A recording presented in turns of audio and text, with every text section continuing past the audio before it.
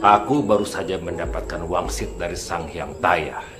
Hanya ada satu cara untuk membersihkan Anjani dari dosa-dosanya sebagai pengkhianat, yaitu dengan mengorbankannya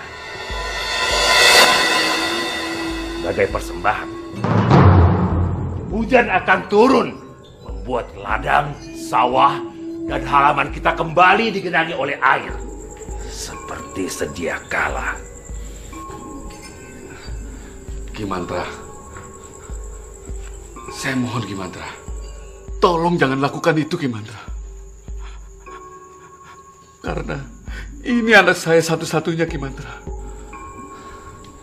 Kepala desa, saya tahu kamu sangat menyayangi Anjani. Tapi Anjani sudah mengkhianati kasih sayang kamu dan kasih sayang seluruh warga desa ini. Demi warga desa yang sudah mati kelaparan. Kita harus melaksanakan ini. Setuju, saudara-saudara? Setuju! Saudara-saudara! Kanji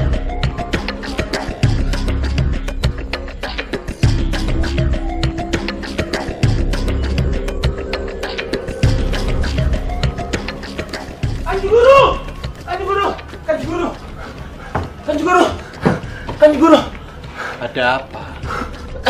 Tampaknya seluruh warga di desa ini mereka percaya oleh kata-katanya Ki Mantra Kanji Guru. Dan jika desa ini menginginkan akan turunnya hujan, maka harus ada korban yang jadi persembahan. Dan korbannya itu adalah Anjani Kanji Guru.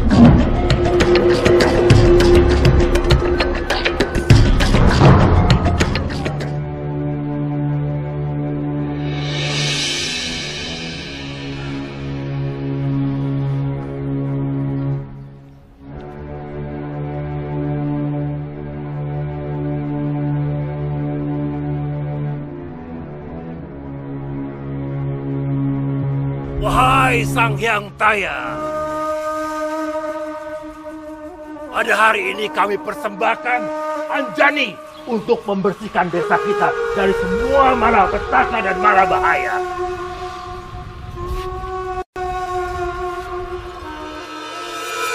Tunggu!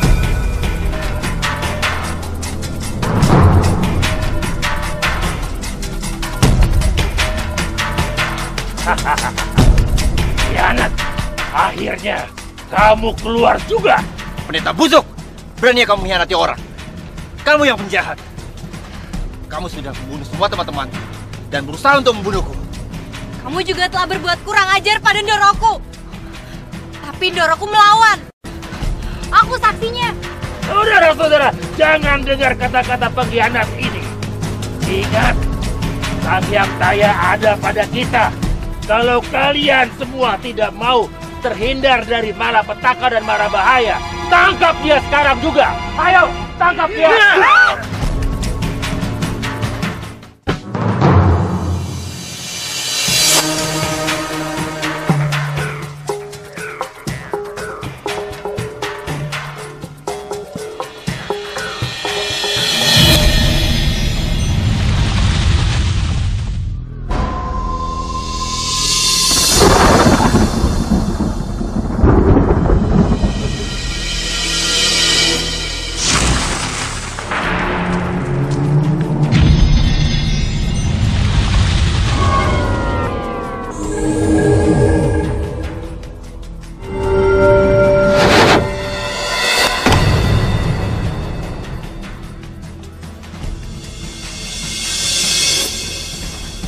Bukan dengan mengorbankan seorang perempuan, maka hujan akan turun. Hujan baru akan turun atas izin Gusti Allah, bukan yang lain. Banyak bicara orang asing. Tunjukkan kepada kita semua bahwa hujan akan turun. Tunjukkan. Baik.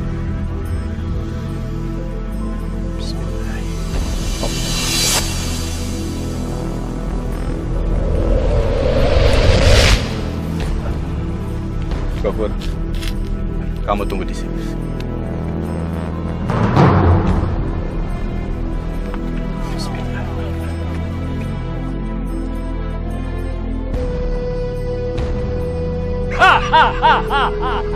Mana hujan itu? Mana? Saudara-saudara lihat, penipu ini tidak bisa menurunkan hujan. Mana hujan itu? Hahaha. ha ha ha ha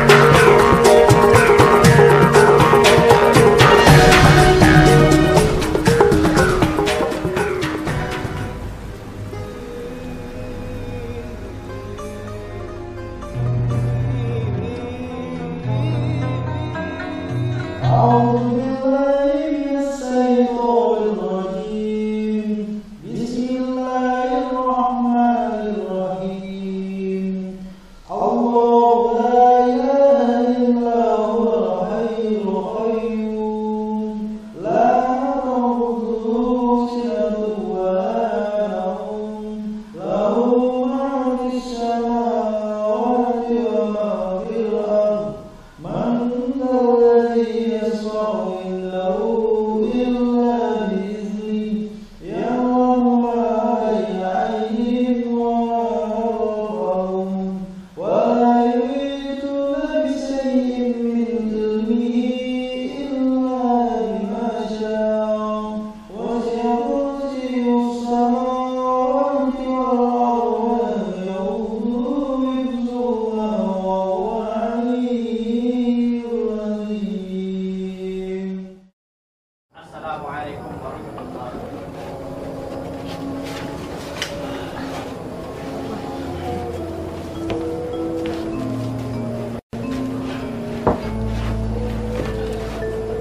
bangun semuanya.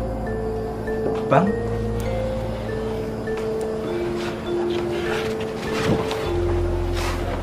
Jangan sembah saya. Saya bukan Allah. Saya bukan Tuhan. Yang berhak disembah itu hanya Gusti Allah. Sekarang saya tanya, ada urusan apa kisanak semua kemari? Eh, begini Kanjeng Sunan, maksud kedatangan kami ke sini, pertama, kami ingin minta maaf. Dan juga kami ingin berterima kasih kepada Kanjeng Sunan yang telah mengungkap kejahatan yang terjadi di desa kami ini.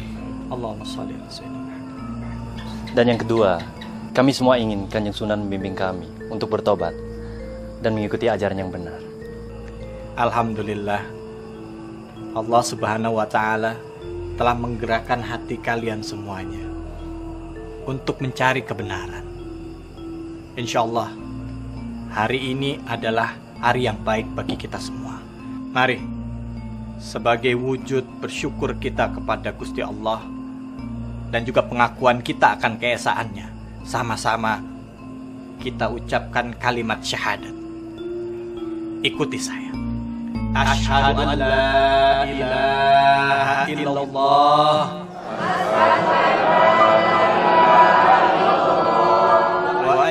Aku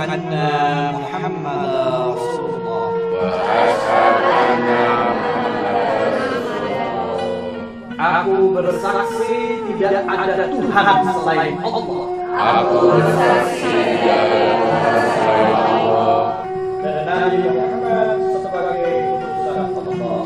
Dan Nabi Muhammad sebagai utusan Allah. Alhamdulillah.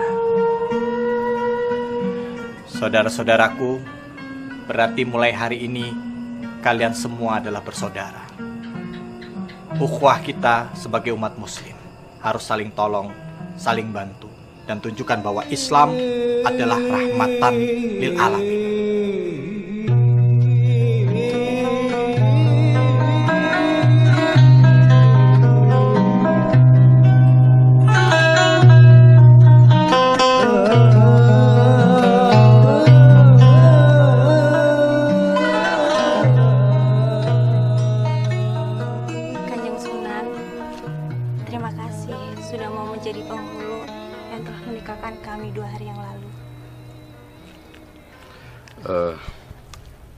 Sunan, sebenarnya saya berharap Kanjeng Sunan bisa menetap di desa ini.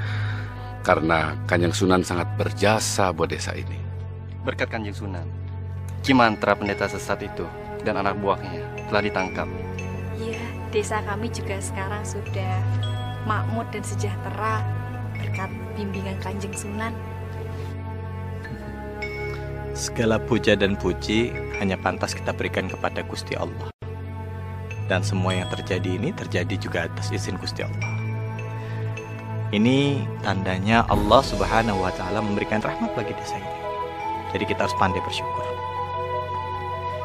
Baiklah, kisanak semua, kami berdua masih harus melanjutkan perjalanan kami. Assalamualaikum warahmatullahi wabarakatuh. Waalaikumsalam. Waalaikumsalam warahmatullahi wabarakatuh. Ditemani Gofur, Syekh Maulana Maghribi atau yang dikenal dengan sebutan Syekh Bantal atau Sunan Gersik melanjutkan perjalanan untuk menyiarkan Islam. Sunan Gresik adalah salah satu wali paling awal. Beliau berputra Sunan Ampel